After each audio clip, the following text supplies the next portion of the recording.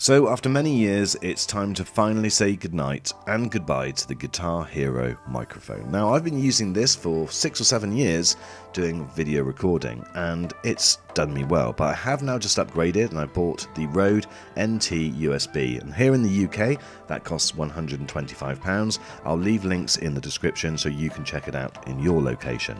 Now, the first impression that I got when I got this out of the box is that it feels really robust, very, very firm and sturdy, doesn't feel like it's going to fall over anytime soon, and the build quality seemed fantastic.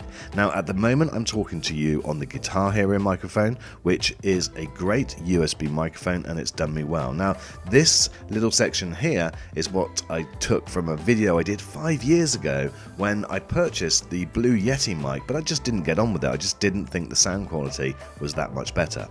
So now it's time to switch over to the Rode mic. Let's see whether you can tell the difference. So here we are now talking to you on the Rode mic. Now, I don't know at this stage whether there's any difference. I'll obviously listen back to it after I've recorded.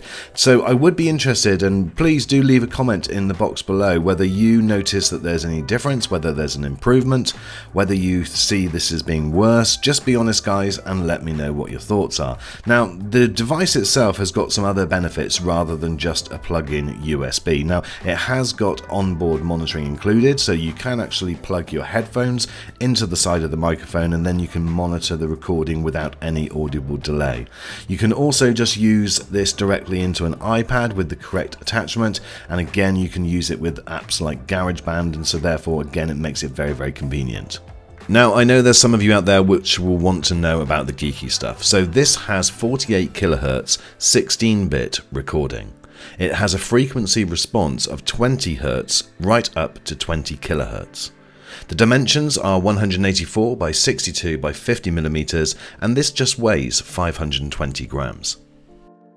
So Rode are very proud of this microphone and if you look at the online reviews it's got fabulous reviews. Not many people give this less than 4 or 5 stars.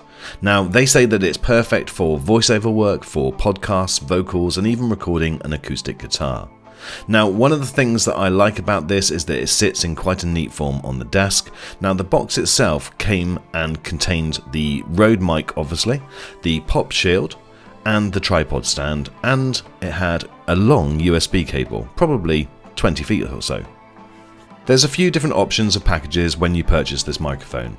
I've gone for the basic one, but if you want something like the studio microphone boom arm and the microphone shock mount, then you can get those included with an extra package. That will cost you around about £100 more though, so it's worth just balancing it off against the price. Now, I'm not sure at this stage, but I'm sure you will be able to get third party boom arms that will also fit this microphone. So my friends, I'm really looking forward to working with this microphone and seeing how I progress with it. Leave a comment and let me know your thoughts in the box below and I'll leave all of the links in the description so you can check out the different microphones and you know if you're in the market for one then hopefully this will be of interest. But obviously over the course of the next few videos you'll hear hopefully how this microphone progresses. Thanks my friends for watching this video as always and I will see you on the next one.